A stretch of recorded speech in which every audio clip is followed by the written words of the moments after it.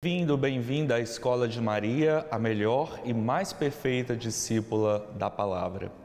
Querido irmão, querida irmã, ao longo desta semana, nós queremos trazer para a sua reflexão o tema da missão de Maria.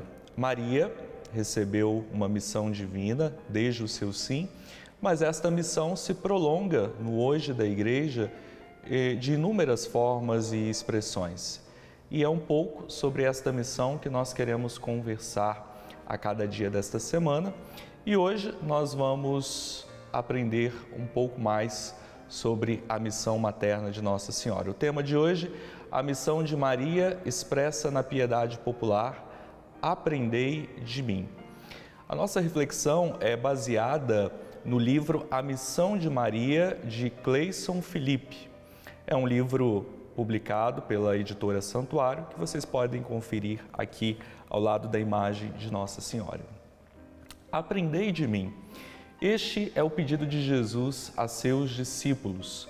É dele que aprendemos que o Evangelho é uma mensagem de salvação revelada. Sobretudo aos que têm um coração pobre.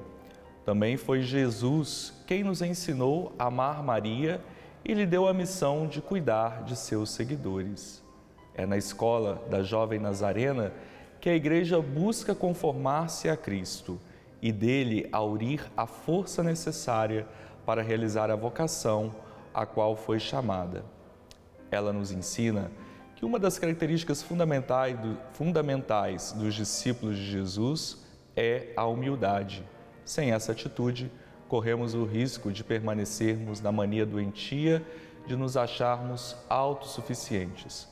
O próprio Cristo, ao se fazer homem, fez-se pobre com os pobres para nos mostrar que o novo reino pertence àqueles que têm a coragem de se negar a si mesmo e perder sua vida por uma causa que lhe é superior, o plano divino da salvação.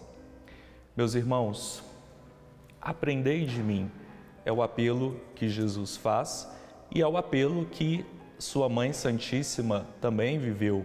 Maria se fez discípula, seguidora de Jesus. Ela também teve que aprender com Jesus, teve que conhecer qual era o projeto de Deus, a missão é, com a qual o seu filho Jesus veio a esse mundo para nos revelar o projeto do Pai esse aprender de mim passa sobretudo pelo exercício da humildade. Humildade que Maria viveu, primeiramente ao se colocar disponível, ao abrir mão dos seus projetos para gerar Jesus, e depois a humildade em se fazer sua fiel seguidora, sua primeira discípula. Esta mesma humildade nós devemos cultivar no nosso cotidiano, escolhendo sempre aquilo que é simples, aquilo que é pequeno, pois é aí que se manifesta o poder e a graça de Deus. Que o nosso coração seja manso e humilde como o de Jesus, um coração simples e acolhedor como Maria, nossa mãe. Que Deus abençoe você e até o próximo programa, se Deus quiser.